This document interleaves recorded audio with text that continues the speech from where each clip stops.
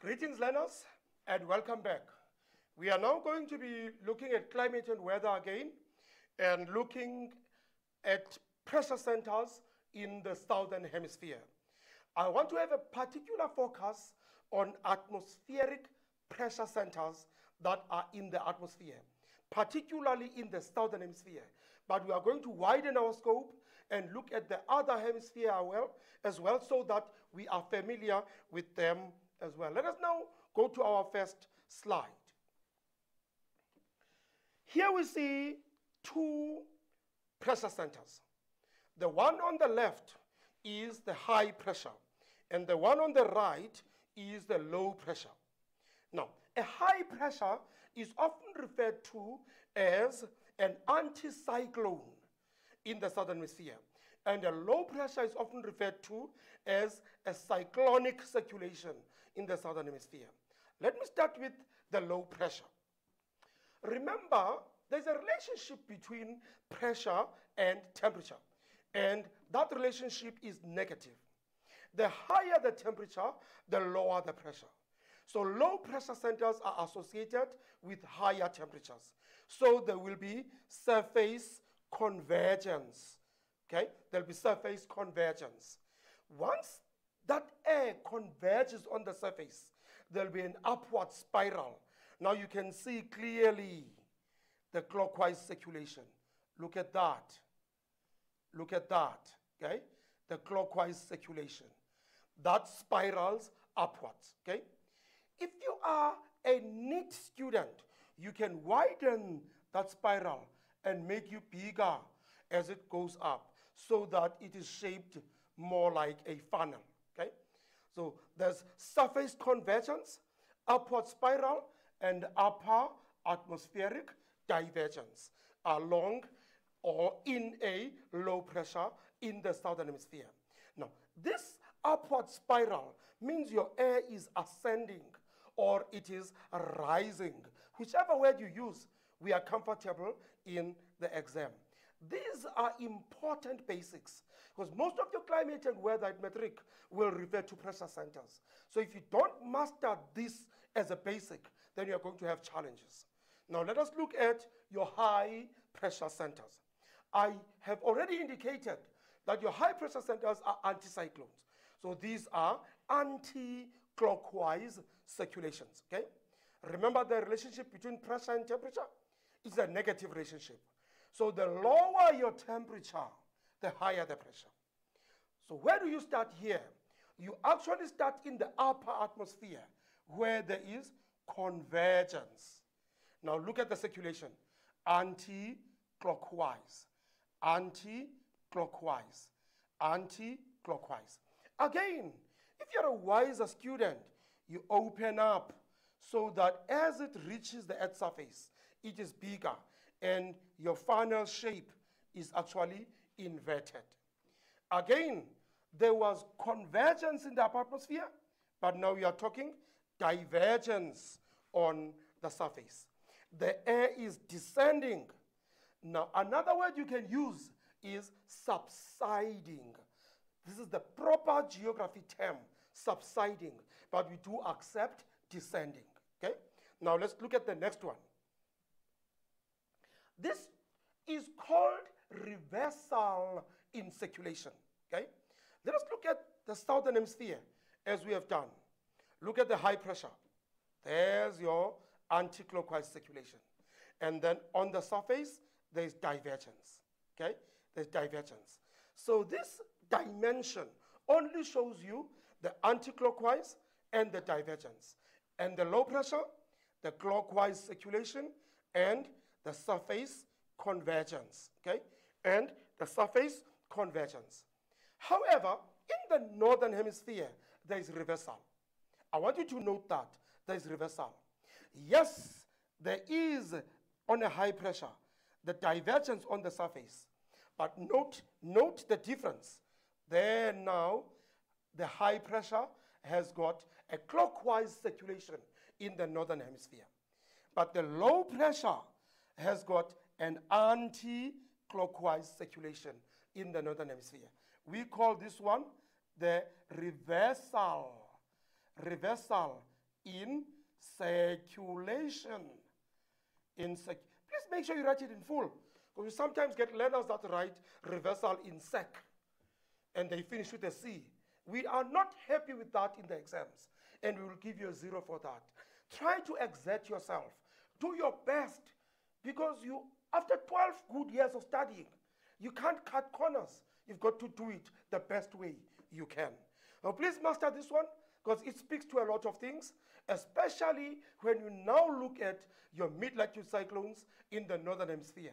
They'll be based on these different circulations that we are doing here. Okay? Now let us look at this one. I want to look at circulations, the pressures in relation to atmospheric stability. Okay? Let us look at the cyclonic circulations, meaning the low pressures. Okay? Cyclonic meaning clockwise now. Remember I said surface convergence, and then I said rising, and then in a low pressure center, there'll be atmospheric instability. How do you see atmospheric instability? Look at the cloud cover. Look at the cloud cover. We have even gone further and made it big so that you can see it. And obviously, that will lead to precipitation and other issues like thunderstorms and lightning because here the atmosphere is unstable. So in your summer synoptic weather chart, where you have got your cloud cover that is dominantly overcast, you will notice that there is a low pressure and the atmosphere is very, very unstable. Okay? Look at your anti-cyclonic circulation, which is in fact your high pressure centers. I said there is upper atmospheric convergence, and then remember the word subsiding the air descends. Now, this air cannot condense because remember, if you say the higher you go, the colder it becomes, the lower you go, the warmer it becomes. So, any moisture that was in the air will dry up and there'll be no condensation. Hence, you have clear skies. So, in your winter map, where the Kalahari high pressure is dominant, you'll also find that your skies are very clear, almost 0 over 8 or 0 over 4 oktas of cloud cover. So we often say in your anticyclones, you've got a very stable atmosphere. However, in your cyclonic circulations, it is unstable. I want you to establish the relationship between cyclones and atmospheric instability, anticyclones and atmospheric stability. Relate your cyclones to your low pressure and your anticyclone to your high pressure. Okay? Now, we are going to look at this map. A few things to master. Number one, isobars. Okay? These are isobars. These are isobars. Okay? They are lines on a synoptic weather map joining places with the same atmospheric pressure. That was supposed to be cleared in grade 11, okay? But we are now doing it so that we give you a better grasp, better traction for your grade 12 syllabus, okay? Please make sure you master that definition. We look at the next one, isobaric reading, okay? That is an isobaric reading, 1008 hectopascals. Please make sure you write the units, 1008 hectopascals, 1012 hectopascals, you can substitute that with millibars. That is an isobaric reading. Again, remember, these indicate whether the pressure as you move to the center is decreasing or increasing. Okay? I'll deal with that a bit later. Isobaric interval, the degree to which atmospheric pressure changes from one line to the next. Let's see. Here you have got 1012, okay? And you have the next line, which is 1008 hectopascals. What is the difference between the two? It is 4 hectopascals, meaning the isobaric interval in our map is 4 hectopascals. Small letter h, capital letter P, small letter A. That is the isobaric interval. You need to determine that and indicate it and have the units as well. Okay? How to determine pressure? Okay? As you approach the center isobar, what is the trend? The trend can only be answered in two words. Either it increases or it decreases. Let's look at this one. 1002 hectopascals. When you go to 1008, there is a decrease. Okay? So meaning that is a low pressure. The pressure decreases as you go to the center. Let's take another example. Okay? 100, sorry, 1012 hectopascals. 1016 hectopascals, meaning from one isobar to the next, there is an increase. And there is an increase again, meaning that is a high pressure. As you move to the center, the pressure increases. Same as you see here. Now you know how to see a high pressure and differentiate it from a low pressure. Look at that. Towards a low pressure, 1008, 1004, 1000 hectopascals. So you can determine that, okay? Now, remember, around the low pressure, the circulation is clockwise in the southern hemisphere. Always mention that, because if you don't mention it, we will give you a zero, because the hemisphere is also important, as you saw when we are doing reversal in circulation, okay? The high pressure has got an anti-clockwise circulation. Let's go back to our map. Look at that. Low pressure, clockwise circulation. High pressure, anti-clockwise circulation. That you need to make sure you understand very, very well. Okay? Now, let us look at the question paper. That was November 2022, most recent. And we'll take one or two, maybe all. Okay? Now look at this reading. The atmospheric pressure reading at A is dash, dash, dash hectopascals. We've got ellipses there, okay? There is A, which happens to be a low pressure.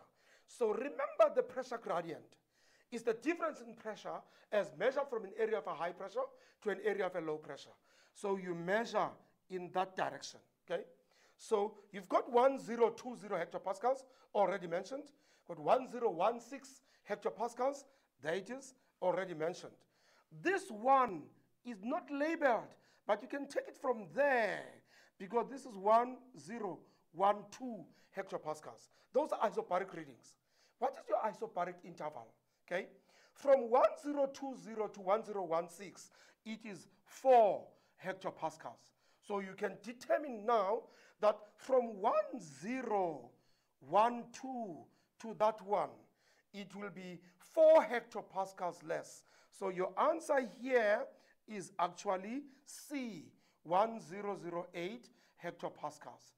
What I'm arming you with is for you to be able to identify an isobar, be able to have an isobaric reading, and be able to determine the isobaric interval because you are going to be better able to interpret your synoptic weather map. Remember, from 2020 2021, your question one will be grounded on your synoptic weather chart and how to interpret it. Let us take the next one, okay? I will skip 101, 15 and look at 116, which again poses another challenge because it is a combination question. And again, the new format of examining you, which is going to start from 2000 and take another few years, is there must be combination questions. And combination questions are high order questions. You need to pass them to be able to get a level 7. Let us read. The low pressure cell over the interior, that is the low pressure cell over the interior, okay, has caused not westerly winds, okay? Those are northwesterly winds, means winds coming from the northwest to the southeast. From the northwest to the southeast. Those are northwesterly winds. Because of what? Remember, low pressure, clockwise circulation.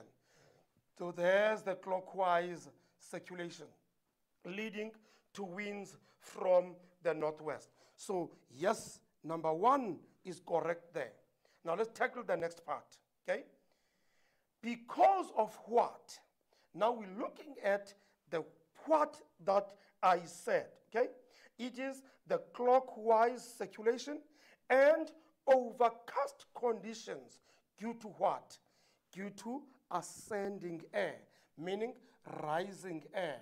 Remember, surface convergence, low pressure, and then condensation leading to cloud cover, and then precipitation, meaning atmospheric instability.